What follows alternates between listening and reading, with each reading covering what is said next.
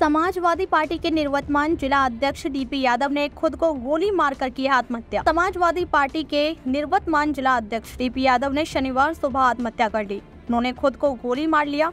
सूचना मिलते ही उनके रिश्तेदार और कार्यकर्ता उनके आवास स्थल पहुँचे। हालाँकि अभी तक उनके आत्महत्या के कारणों का पता नहीं चल पाया है।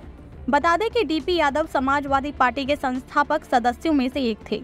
उन्हें समाजवादी पार्टी में कोई महत्वपूर्ण पद नहीं मिलने के बाद भी वह पार्टी के लिए निरंतर कार्यरत थे और बहुत ही निष्ठा के साथ कार्य करते थे। मिली जानकारी के अनुसार पंचायत चुनाव में उनके साले और सपा जिला अध्यक्ष जयवीर सिंह ने उन्हें पद से हटाकर जिला अध्यक्ष बनाया था। जानकारी यह भी है कि लोकसभा चुनाव के दरमियान डॉक्टर एस टी हसन के बजाय रुचि वीरा को प्रत्याशी बनाए जाने पर उन्होंने इसका विरोध किया था और चुनाव प्रचार में शामिल नहीं हुए थे। अब इसकी शिकायत उन्होंने सपा प्रमुख अखिलेश यादव से की थी और उन्होंने डीपी यादव को जिला अध्यक्ष पद से हटाकर फिर से जयवीर सिंह को जिला अध्यक्ष बना दिया था। तभी से वह पार्टी से नाखुश चल रहे थे और राजनीतिक गतिविधियों से खुद को दूर कर लिया था।